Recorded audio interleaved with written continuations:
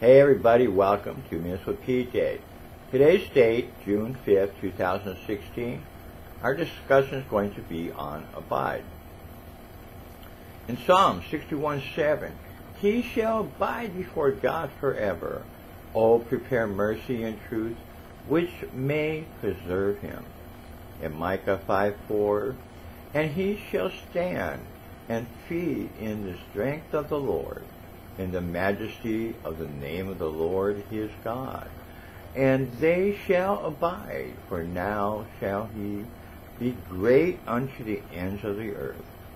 In Romans 11:23, and they also, if they abide, not still in unbelief, shall be grafted in, for God is able to graft them in again in 1 John 2, 27 to 28.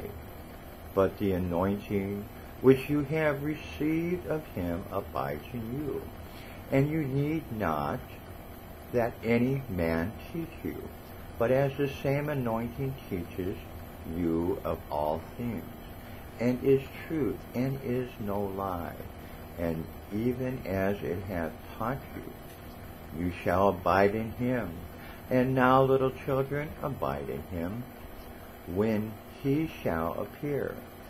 We may have confidence and not be ashamed before him at his coming.